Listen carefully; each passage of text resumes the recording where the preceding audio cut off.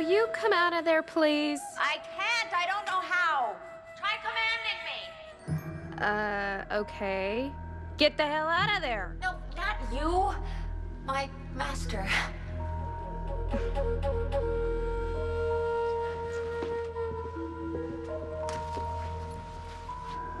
You mean me? Well, yeah, you did pick up the bottle, didn't you?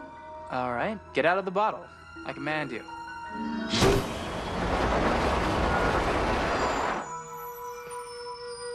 You look ridiculous. I feel ridiculous. Well, how am I supposed to get back to Greg now with this? Is that all you care about? Would you look at me? I am trapped in pantaloons right now. Where is the mirror? Look.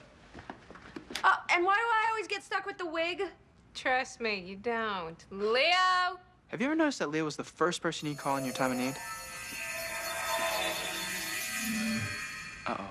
Yeah, right? Uh oh. I still can't believe you made a wish with a genie. You know better than that. I thought she was an innocent. How was I to know that I was gonna unleash a demon? It says so right here. Oh, right, right there, in Arabic.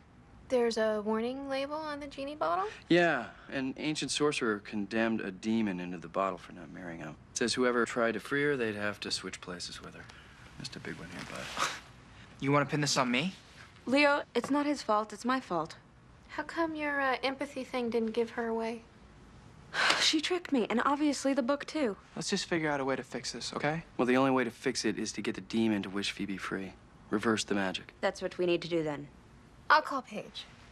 Yes, I, I do believe the element of surprise is very important here. Are you sure? Because we could always take our time with this plan, you know, keep Piper around just a little bit longer. Yes, Master. Good. I'm glad you agree. I, actually, I, I don't agree, but I can't. I can't. How am I supposed to take charge and take commands all at the same time? Oh, you won't have to. Chris is coming back up there with me. The elders have agreed to send him back to his time. What?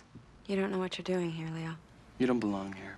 And as your whitelighter, he's doing more harm than good. You are so full of it. This isn't about me being a bad whitelighter. It's about you feeling like I've let you down somehow. So whatever issues you might have with me, I wish you would just get over it already.